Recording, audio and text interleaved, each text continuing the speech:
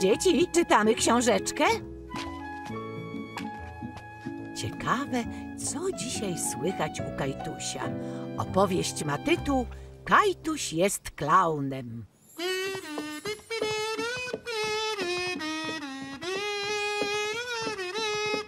Wiesz co, Ruziu? Wybieramy się na paradę. Parada, parada. Tu, tu, tu, tu, tu, tu, tu, tu. Zobaczymy konie i orkiestrę i klaunów. Klaunów lubię najbardziej. Nie, klaun. Nie, nie. Hej, Ruziu.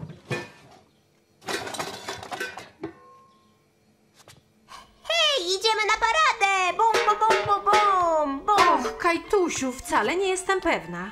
Jak to? Co to znaczy? Zastanawiam się, czy to dobry pomysł, żeby iść na paradę. Dlaczego nie, mamo? Ja bardzo chcę ją zobaczyć. Wiesz, że tam będą klauni i wiesz, jak Ruzia się ich boi. Nie, wcale nie, teraz już nie. Ja chcę tam iść. Kajtuś był rozżalony i zły. Czuł się pokrzywdzony. Tylko dlatego, że Ruzia jest małym głuptaskiem, ja nie mogę iść. Kajtusiu, nie pamiętasz, że ty też bałeś się klaunów, kiedy byłeś taki mały jak Ruzia? Hmm, co by na to poradzić? Kajtusiowi coś przyszło do głowy. Zobacz, Ruziu, wcale nie jestem straszny. Och, nie płacz, to tylko lalka. Wiesz co, mamo? Zakryję jej oczy, jak będą klauni. Chodź, synku, do twojego pokoju. Po co? Mam pewien pomysł. Może jednak pójdziemy na paradę? Ale musisz mi pomóc. Kajtuś zastanawiał się, jaki mama ma pomysł. Poczekajcie. Weźmiemy to i pokażemy Ruzi, że klaun nie jest taki straszny, że to zwykły człowiek, który śmiesznie się ubrał. Dobrze. Ruziu, zobacz.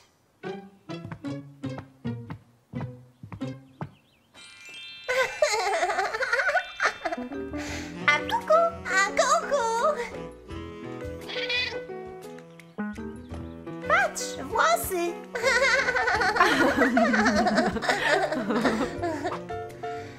Au, au, au.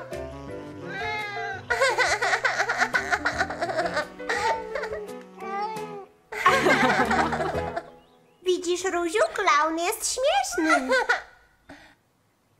Nie, Ruziu, o tak. I co? Siokocie. Ruziu, teraz ty jesteś klaunem. I tak Ruzia zrozumiała, że klaun wcale nie jest taki Ruzia! straszny. Klaun. Ubierajcie się, jeśli chcemy zdążyć na paradę.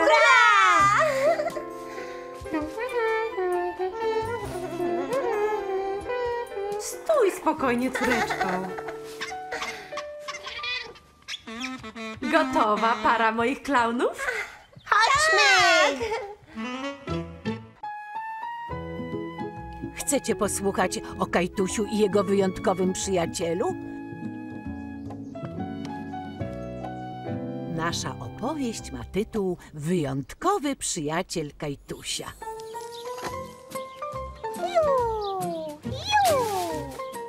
Kajtuś bawił się ze swoim wyjątkowym przyjacielem, Jurkiem.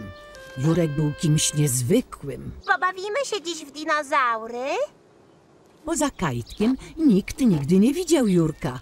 Nagle Kajtuś wpadł na świetny pomysł. Wiesz co? Chodź się pościgamy. Patrz, mamo, patrz, babciu, ścigam się ze swoim kolegą. Jestem głodna. Różyczko, powiedz Kajtusiowi, że już pora na obiad. Dobrze, babciu.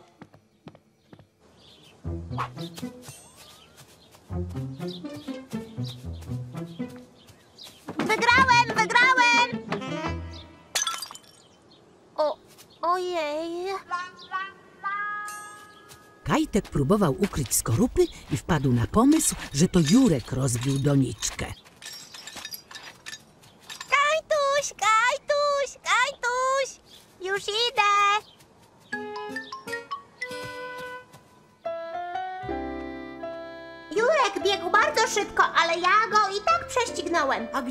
Jurek mieszka? Tak dokładnie to nie wiem, gdzie on mieszka. Kajtusiu. Chyba u nas w piwnicy, bo Jurek to mój najlepszy przyjaciel na całym, całym świecie. Synku, zobacz, my już zjedliśmy, a ty ciągle mówisz. Nawet nie ruszyłeś obiadu. Przepraszam, mamo. Jak skończysz jeść, wyjdziesz z Jurkiem na dwór, dobrze? Dobrze, mamo.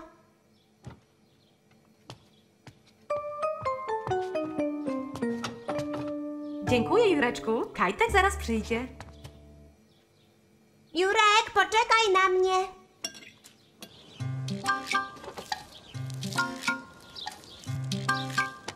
Synku, możesz przyjść na chwilę? Wiesz coś na ten temat? Y, Jurek to zrobił, tatusiu. Jesteś pewien, że to Jurek? Tata wiedział, że Jurek na pewno nie mógł rozbić doniczki. Tak, tato, ścigaliśmy się i Jurek na to wpadł. Hmm, tak mówisz. A ty nie miałeś z tym nic wspólnego? Jak to było? Miałem, tato. Posłuchaj, synku, posprzątajmy razem ten bałagan. A następnym razem, jak będziesz się bawił z Jurkiem, obaj będziecie bardzo uważać. Kajtusiowi od razu spodobał się ten pomysł. Zgoda. To dobrze. Ty potrzymaj mi szufelkę, a ja pozamiatam. Tego Jurka to czasem jest niezdara, prawda, tato? Trochę jak ty, co? Bardzo lubię, kiedy mnie huśtasz. A ja bardzo lubię huśtać ciebie, synku.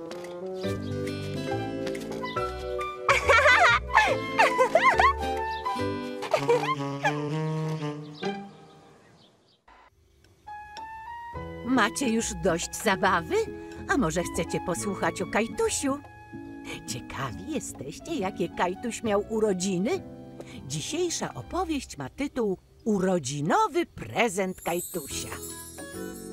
Kajtuś miał urodziny, więc mama postanowiła upiec mu tort. Jestem pewna, że nie będziesz chciał wylizać miski. Jak to nie? Bardzo chcę. A ja tylko żartowałam. Nie, nie. Tort urodziny! Mama da, mama da, mama da, mama da. Synku, Ruzia też lubi wylizywać miskę. Tato! Och, wydawało mi się, że Kajtoś miał podzielić się z Ruzią. Kajtuś powiedział wszystkim, że chce dostać w prezencie wyjątkowego dinozaura. Ale babcia nie przyniosła dinozaura, Oj. tylko sweter.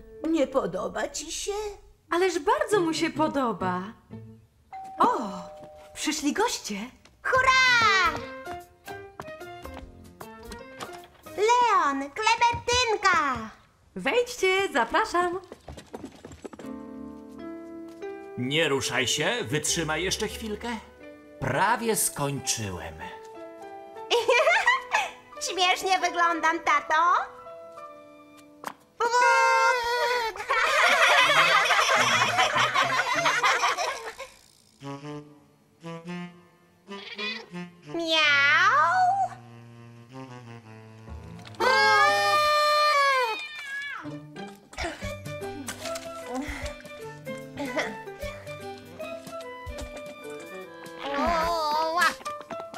Wszystkiego najlepszego, Kajtusiu! Sto lat, sto lat, Kajtusiu! Wszystkiego najlepszego! Jej! Najlepszego, synku. Zdmuchniesz świeczki, kochanie? Najpierw pomyśl życzenie. Powinieneś pomyśleć życzenie. Kajtuś miał tylko jedno życzenie. Marzył o dinozaurze.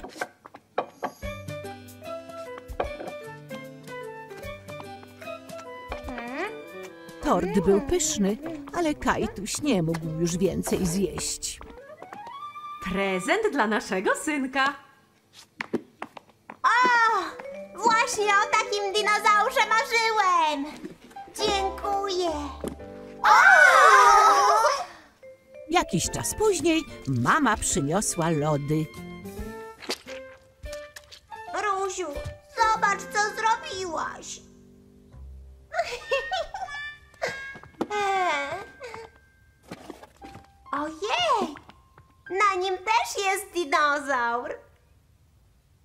Kajtuś marzył, żeby mieć dinozaura, a teraz miał aż dwa. Ojej!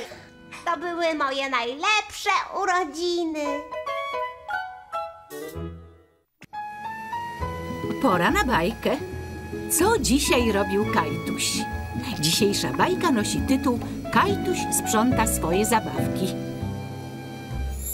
Kajtuś sprząta swoje zabawki. Kajtusiu, gdzie jesteś? Dziwne, że nie ma Kajtusia, kiedy mam czekoladowy budyń. Tak jest. Kajtuś uwielbia czekoladowy budyń. Hej, poczekaj na mnie. Ale tu bałagan. Co ci mówiłam, Kajtusiu? Nie powinienem zostawiać zabawek na schodach. Kajtuś wiedział, że nie powinien zostawiać zabawek na schodach.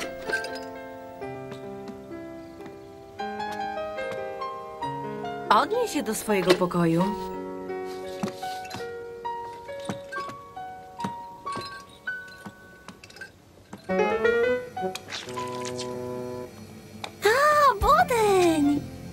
Uwielbiam czekoladowo-czekoladowy budyń.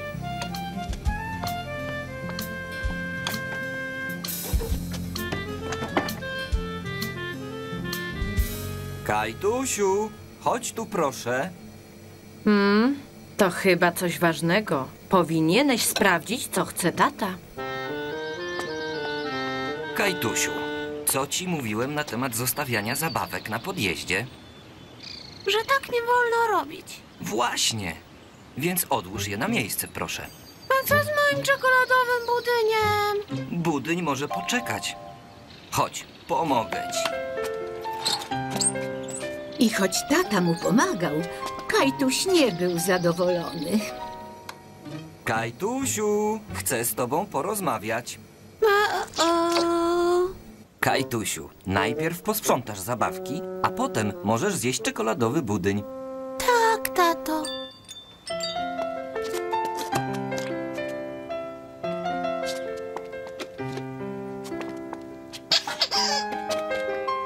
Zebraliśmy już wszystkie zabawki, Na pewno, spójrz. więc pora na czekoladowy budyń. Hurra! Czekoladowy budyń! O, chyba powinieneś to zobaczyć.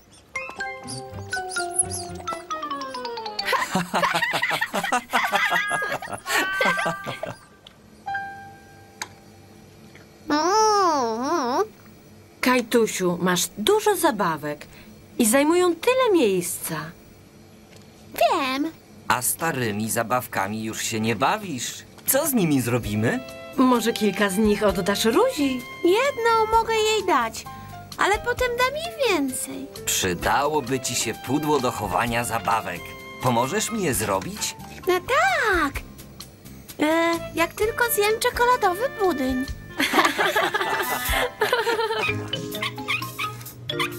No, skończyliśmy. Dzięki, tato. Sprawdźmy, czy pokrywa pasuje.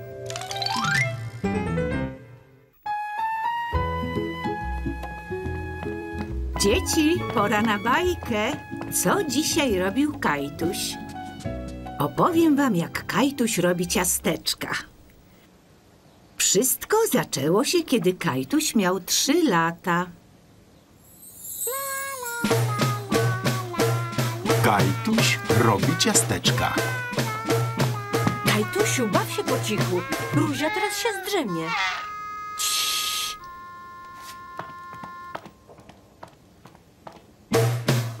Kajtusiu, Chcę się bawić. możesz się bawić, byleby było cicho. Kajtuś uważał, że cicha zabawa nie jest tak fajna, jak hałasowanie. Kajtusiu, prosiłam, żebyś bawił się cicho.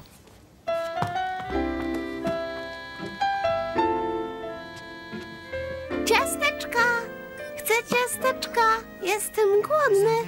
I Kajtuś poszedł do kuchni.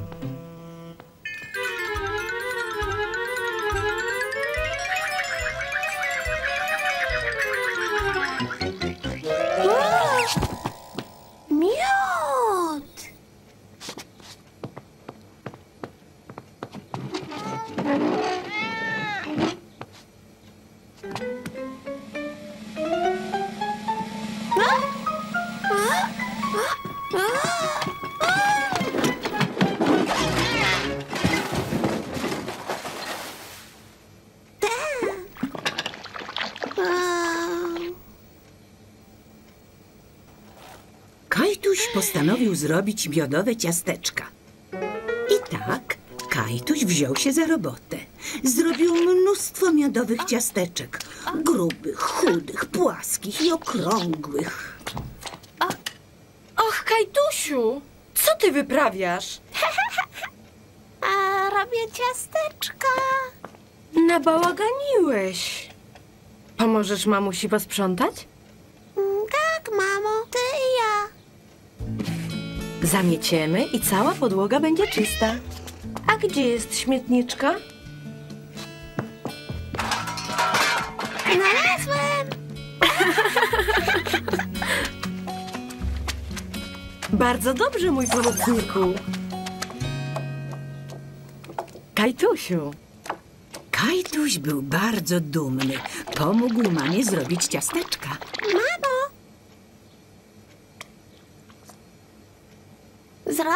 Zrobiłaś bałagan. tak, mama też robi bałagan. Tatusiu, spróbuj ciasteczka. Mmm, kto zrobił te ciasteczka? Ja, a mama pomagała.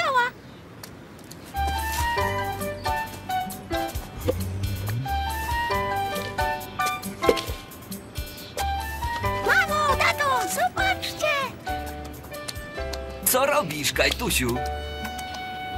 He, bałagan!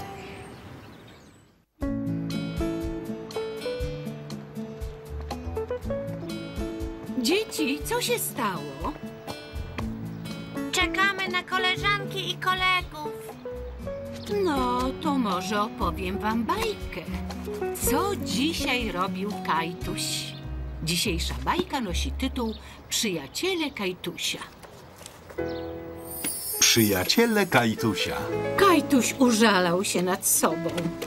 Co się stało, Kajtusiu? Nie jesteś wesoły? Nie jestem, nie mam się z kim bawić. Nie masz przyjaciół? Nie, nie mam. Wtedy Kajtuś naprawdę myślał, że nie miał przyjaciół i dlatego czuł się bardzo smutny i samotny. Na pewno masz przyjaciół. Zastanówmy się przez chwilkę.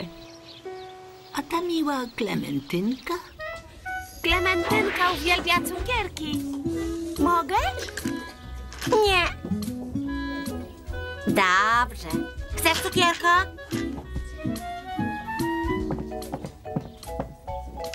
O nie!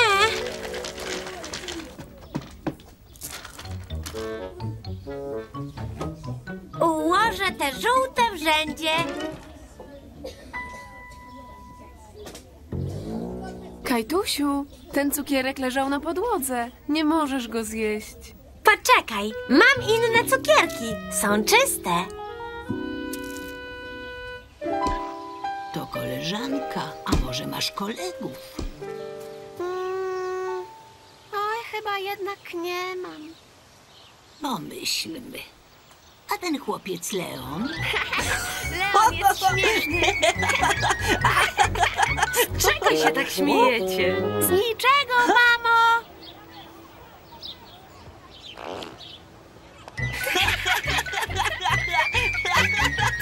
No więc, to już dwoje przyjaciół. Masz innych? Nie. Naprawdę? A Gilbert nie jest twoim przyjacielem? Kajtuś zapomniał o kotku, który był jego przyjacielem. Gilbert, mój przyjaciel. Kajtuś poczuł się lepiej. Na początku wydawało mu się, że nie miał żadnych przyjaciół. Teraz Kajtuś wiedział, że ma ich troje, a skoro ma troje przyjaciół, to może ma ich o wiele więcej. Ruzia jest moją siostrą i moją przyjaciółką też. Masz rację. Dzień dobry wszystkim. Dzień dobry panu. Pan Hinkiel też jest moim przyjacielem. Mam ich wielu, prawda, babciu? Tak, masz.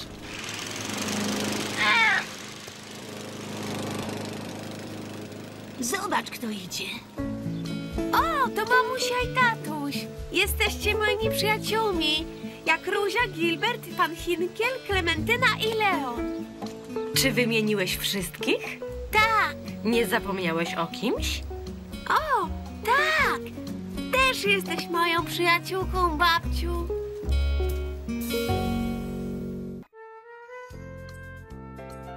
Babciu, poczytaj nam książkę. O, nasza książeczka o Kajtusiu?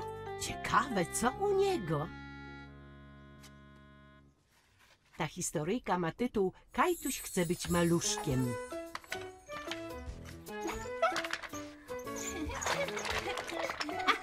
Ruzia i Kajtuś od samego rana byli zajęci, bardzo zajęci. Ojej, jak mogliście tak nabałaganić?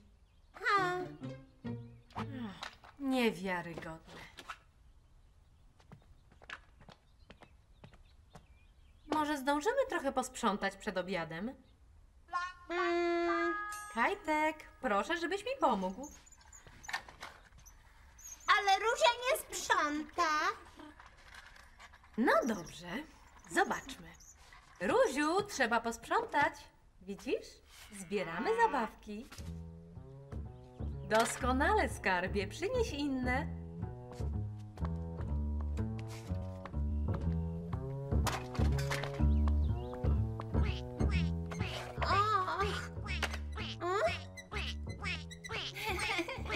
Mamo, dlaczego ona się bawi? To nie fair. Ja też chcę się tak bawić. Synku, Ruzia jest za mała, żeby zrozumieć o co chodzi. Jak podrośnie, na pewno będzie pomagać. Mm, Ty jesteś duży, możesz po sobie sprzątać. Kajtuś uważał, że mama jest niesprawiedliwa. Był bardzo zły.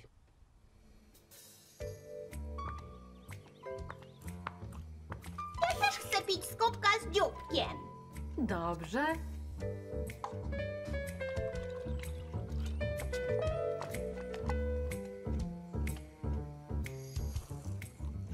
I pokrój mi kanapkę na małe kawałki, tak jak Ruzi. Hmm, Mnie też, mamo. chcesz śliniaczek? Mhm.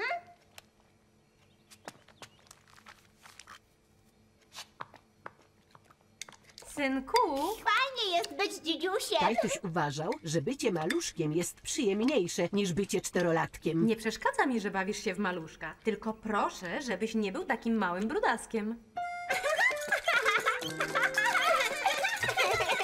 Po obiedzie Kajtuś i Ruzia bawili się jak dziedziusie. Bardzo im się to podobało. Ja też spać? Tak, wszystkie maluszki śpią po obiedzie. Połóż się do łóżka, a ja przyjdę cię utulić. Kajtusiowi wcale nie chciało się spać o tej porze. Ale skoro był taki mały jak Ruzia, nie miał wyboru. Odpocznij sobie, syneczku. Mm, Co się stało, Kajtusiu? ja nie chcę spać w dzień. Wszystkie maluszki odpoczywają po południu. Już nie chcę być maluszkiem. Chcę znowu mieć 4 lata. Świetnie, to może pogramy w karty. Pewnie. Cieszę się, że znowu mam czterolatka. Wygrałem.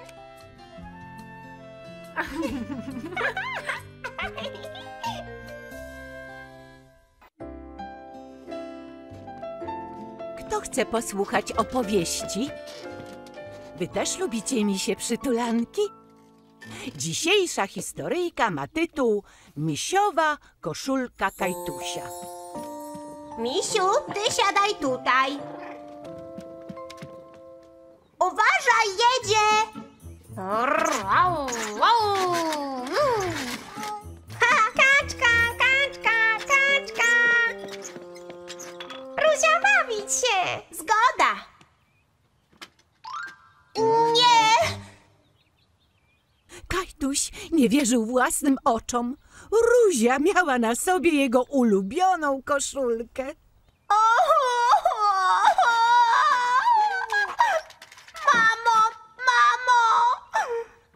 Stało, synku?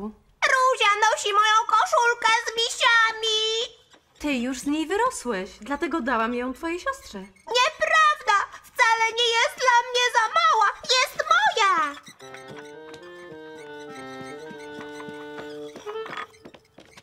Kochanie, zdejmij ją na chwilkę.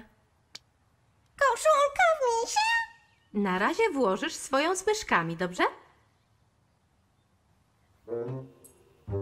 Ojej.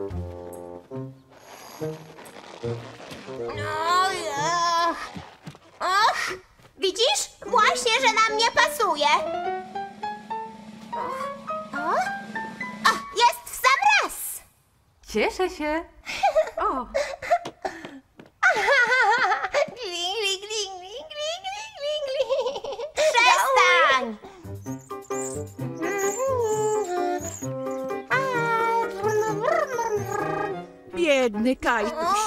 Od leżenia na dywanie swędział go brzuszek, bo koszulka go nie zakrywała. Może naprawdę była za mała? Ale Kajtuś miał już pomysł. Postanowił przykleić ją do spodni.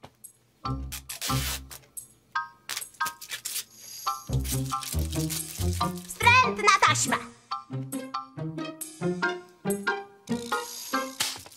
Trzymajcie się! Kajtusiowi było smutno. Zrozumiał, że nie da rady dłużej chodzić w tej koszulce, ale nie chciał się z nią rozstawać. Kajtusiu. To ty, kiedy dostałeś koszulkę z misiami. Ślicznie wyglądałeś. Miałeś dwa lata. Byłem taki mały i wtedy ją dostałem? Przepraszam, że nie spytałam cię, czy mogę ją oddać Ruzi. Nie pomyślałam, że ona jest dla ciebie aż taka ważna. Kajtuś lubił swoją koszulkę, ale wiedział, że ostatnio urósł i już nie może jej nosić. Może schowamy ją gdzieś, żebyś ją miał na pamiątkę. Oddam ją mojemu misiowi. Dobry pomysł. Misiu, pięknie wyglądasz w nowej koszulce.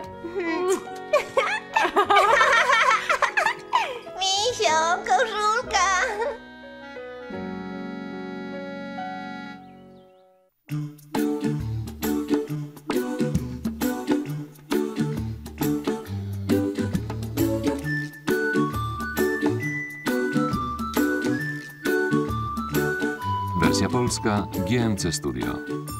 Bohaterom głosów użyczyli Julita Korzuszek-Borsuk, Elżbieta Gertner, Katarzyna Łukaszyńska, Mirosława Niemczyk, Edyta Torchan, Robert Kibalski, Andrzej Chudy, Dariusz Błażejewski i inni. Dialogi polskie Dorota Brewińska. Realizacja i reżyseria Jerzy Eusebiusz.